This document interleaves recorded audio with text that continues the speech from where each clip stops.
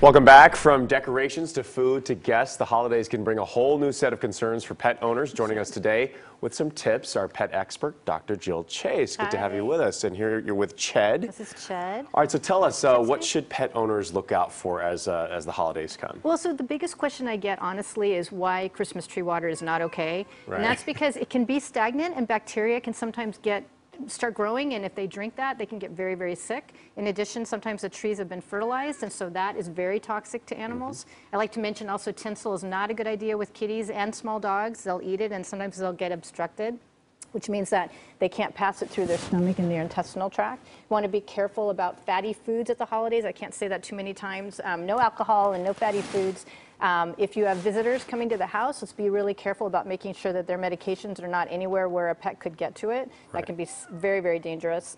Um, uh, plants that are toxic are mistletoe, right, and Right. holly, and then lilies are very, very toxic, can Yeah. cause death. So good things to keep in mind. Also, tell us a little bit about SF Aid uh, this Yeah, holiday so season. there's a lot of places to donate. I certainly donate to all sorts of different um, organizations, but I wanted to talk about San Francisco Aid for Animals, which is a really nice um, place to donate money because what it does is if I have a patient come through that is sick but I can cure it, but the owners don't have the money to pay for it, I can apply to SF AIDS for Animals and ask for money toward that, and then they will donate to me. So you can go online and and donate uh, however much you want, but that money's pooled toward animals, uh, toward veterinarians who can then apply for that in San Francisco. yeah, a nice gift for our uh, four-legged friends Yeah, and yeah, those and I who hope need a little everybody has- assistance right, this holiday season. right. I was All gonna say Dr. happy Jill holidays. Chase. Yeah, Yeah. absolutely. Happy holidays. Good to see you. Thank you so much. If you'd like to uh, know more about SF Aid for Animals, we have a link set up at cbssf.com, our website. And if you have a question about your pet's health and well-being, email us, pets at kpix.com.